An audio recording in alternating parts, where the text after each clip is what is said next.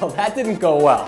What's up, everybody? Mike Janela here with you to talk about some of the great sports records broken by fans like you this month. We start with what I was just trying to do and didn't do well the longest time to spin a basketball on the elbow. I didn't do well, but I am not Tom Connors. This Brit set that record at 6.14 seconds, the first time anybody had ever gone longer than five. But he's no one-trick pony. Tom Connors also has the records for most backwards free throws in one minute and the most basketball arm rolls in one minute. It's his fifth career Guinness World Records title overall. That record was done in the blink of an eye. This next record took a little bit longer.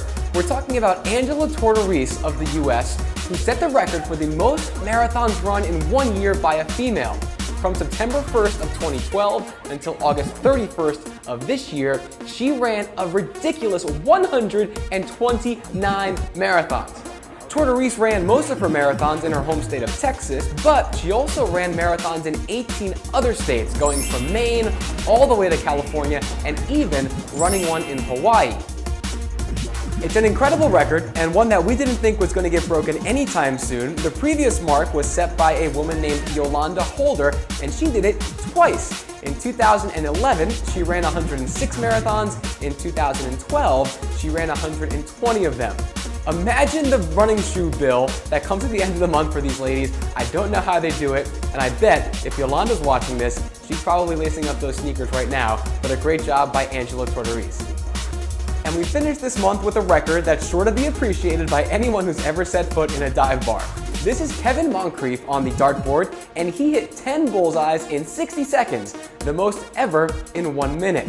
Kevin plays darts three to four nights a week, and hit the tying dart with just three seconds left in his attempt. He needed 22 throws total to get his 10 bullseyes. His mark actually ties the record with 10, also set by Michael Turner of the UK earlier this year. For those of you who want to try at your local pub, both inner and outer bullseyes count, so don't forget that. And let's look again at that patriotic shirt Kevin is rocking. I love it, Stars and Stripes forever. And don't forget to give us a like and subscribe so you can get all your latest record-breaking videos. And don't forget to practice. It could be you featured in one of our future videos. We'll see you next month.